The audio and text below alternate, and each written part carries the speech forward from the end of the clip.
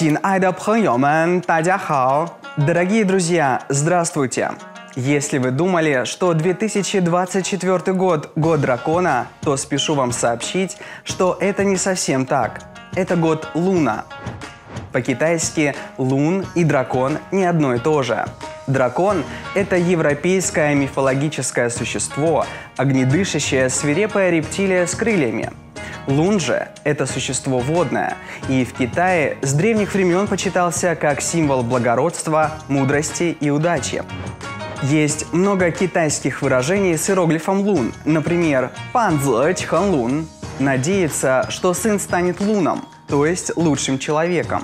Кстати, Чхэн Лун – это китайское имя Джеки Чана.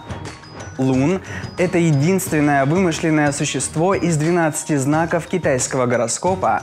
У него внимание, голова верблюда, рога оленя, глаза кролика, уши быка, шея змеи, чешуя рыбы, лапы тигра и когти орла.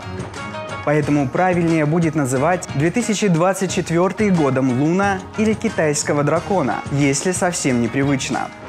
Вот уже на протяжении нескольких тысяч лет образ всемогущего Луна занимает важнейшее место в китайской культуре. Это символ удачи и благополучия, чего и вам желаю в наступившем году Луна.